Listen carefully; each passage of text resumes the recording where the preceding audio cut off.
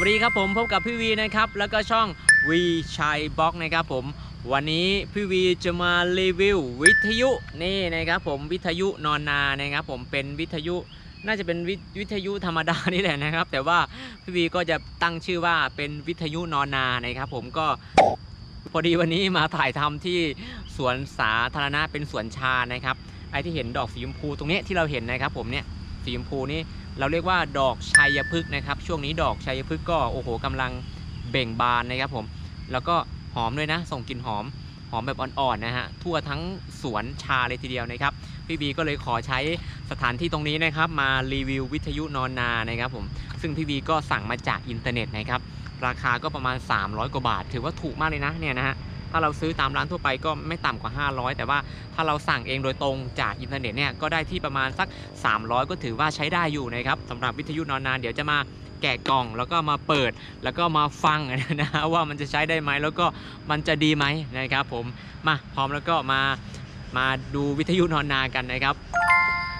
สำหรับวิทยุนอนนานะครับผมมันก็ขนาดเล็กมากนะครับถ้าเทียบกับฝ่ามือเราเห็นไหมครับผมไอ้วิทยุเครื่องนี้ก็ยังมีขนาดเล็กกว่านะครับ ก็เดี๋ยวจะมาเริ่มแกะกันเลยนะครับ พอเราแกะกล่องออกมานะฮะสิ่งที่เราเจออันแรกก็จะเป็นสายชาร์จนะครับ เป็นสายชาร์จ แต่ว่าไม่ใช่ USB นะฮะเพราะว่าหัวมันจะเล็กแล้วก็แบนกว่านะครับ แล้วก็อันนี้เสียบเข้ากับตัวชาร์จมือถือทั่วไปนะครับ หรือว่าชาร์จกับคอมก็ได้นะฮะทีนี้ถ้ามาดูข้างในตัววิทยุกันนะฮะก็ห่อด้วยกันกระแทก อันนี้คือกันกระแทกนะครับไอ้ตุ่มๆเนี้ยแล้วก็มีคู่มือที่ให้เราอ่านนะครับ ถ้าเราอ่านดูเนี่ย พอดีพี่วีอ่านแล้วนะครับ ถ้าเราซื้อมาตอนแรกนะฮะเราก็อาเขาบอกให้ชาร์จทิ้งไว้ประมาณ 6 ชั่วโมง แล้วก็หลังจากชาร์จเสร็จแล้วเนี่ยวิทยุเครื่องนี้เนี่ยก็สามารถใช้งานได้ 4 ชั่วโมงนะครับถือว่าโอเคอยู่นะครับ ก็เดี๋ยวพี่วีก็เก็บไอ้เครื่องคู่มือไว้ในนี้ แล้วก็ตัวสายชาร์จเราก็ใส่ไว้ในในตัวนี้นะครับ โอเคทีนี้ตัววิทยุเดี๋ยวมาดูกันนะครับ อยากจะบอกว่าโอ้โห คือขนาดของวิทยุเนี่ยจะเล็กแล้วก็กระทัดรัดมากเลยนะครับผมข้างหลังนี้ก็จะเป็นอ่าอันนี้เขาเรียกอะไรแบตแบตมันก็ประมาณนี้คล้ายๆแบตมือถือนะครับแบบนี้แหละแบตของตัววิทยุนะครับ แล้วก็ถ้าเราอ่าอันนี้คือด้านหน้านะฮะแล้วก็เป็นพวกปุ่มต่างๆนะครับอันนี้ก็จะเป็นอ่าเสาสัญญาณนะครับ ถ้าเราเปิดออกมาก็ยาวอยู่เหมือนกันนะครับ นี่ก็ยาวหลายฝ่ามืออยู่นะครับ ประมาณนี้หาปุ่ม power นี่คือปุ่ม power นะครับในปุ่มนี้ ถ้าเรากดปุ่ม power อึ๊บก็ ไม่มานะฮะเงียบไปละ อีกรอบหนึงอะกดแช่ไว้ welcome ขึ้นมาละ แสดงว่าวิทยุเราน่าจะใช้ได้แล้ว อันนี้ไงมาแล้ว 92 นะครับ หาวอลลุ่มวอลลุ่มอยู่ตรงนี้โอ้ชิลมากนี่นี่เสียงดนตรีมาแล้วนะครับสำหรับวิทยุ ตรงนี้น่าจะ อาหาขึ้นนะฮะ หาขึ้น โอเค ถ้าเรากดกดตรงนี้แช่ไว้ล่ะ ตัวนี้ก็จะเลื่อนวิ่งขึ้นไปนะ อะ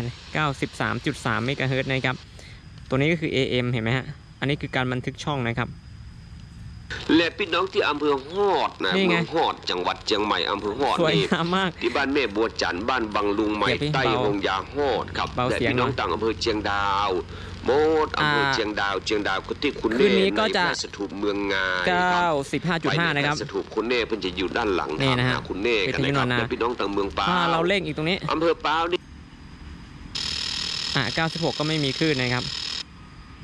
ครับเมื่อกี้เนี่ยพี่บีเนี่ยเปิดวิทยุแล้วก็ทดสอบที่ตัวในเมืองนะครับ ตัวในเมืองแม่สายคือเป็นชุมชนแล้วก็เป็นในเมืองนะครับ ตอนนี้พี่บีลองย้ายมาที่กลางทุ่งนานะฮะดูซิว่ามันจะรับคลื่นได้ไหมนะครับ เดี๋ยวจะมาเปิดวิทยุกลางทุ่งนานะครับ เดี๋ยวเปิดปุ่ม power ตรงนี้นี่นะครับ เปิดแล้วเวลคัมเตือนสติของโอ้เราดูดิได้ค่ะนะคะ ยังมีคลื่นอยู่เลยอะไม่น่าเชื่อนะคะรู้ ไว้ใช่ว่าใส่บาตรไว้ค่ะนี่ไงมีดนตรีแล้วก็ฟังได้ชิวๆนะครับ แล้วก็หิ้วก็แต่เราต้องดึงสายแบบนี้ให้มันสุดๆนะครับการรณรงค์ในช่วงของฤดูนี่ไง เออโอเคใช้ได้นะครับ ผมใช้ได้แล้วก็ตั้งไว้ชิวๆนะครับ ตั้งไว้ นี่ไง แต่ว่า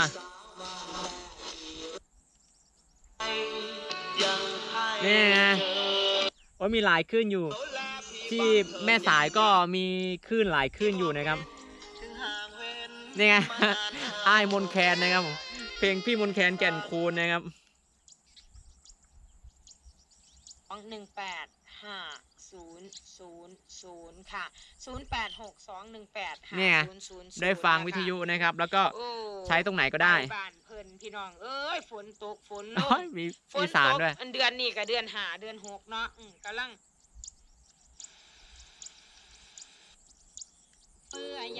นี่ไง โอ้ยใช้ได้เลยนะครับ วิทยุโนนานา นี่ชิวๆมากเลย แล้วก็เอาไปทำนาด้วย แล้วก็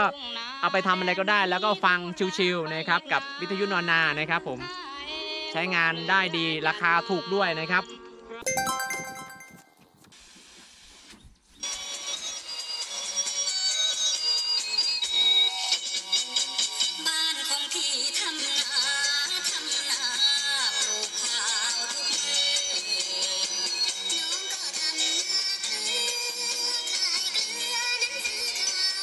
แล้วกาลืมให้นาเคยปลูกเลยทำตัวบ้านงงลืมหรือยัง ครับผมวันนี้พี่บีมารีวิววิทยุนอนนานะครับผมวิทยุที่เครื่องเล็กกระทัดรัดนะครับ ขนาดเท่าฝ่ามือเห็นไหมขนาดเท่าฝ่ามือเรานะครับ พกไปไหนมาไหนก็สะดวกสบายนะครับผม ถือว่าดีมากเลยสำหรับคนที่แบบว่าชอบท้องไร่ท้องนาแบบพี่วีนะครับก็จะพกวิทยุเครื่องเนี้ยเอาไว้มานอนนาชิวๆแล้วก็ฟังเพลงนะครับผมหรือว่าขณะที่เราทำงานเนี่ยเราก็ฟังวิทยุไปด้วยในตัวนะครับถือว่ามีความสุขมากเลยนะฮะกับวิทยุเครื่องนี้ตอบโจทย์ทุกอย่างนะครับผมก็ใจกลับบ้านแล้วอย่าลืมกดติดตาม Subscribe ช่องของพี่วีด้วยนะครับ สวัสดีครับ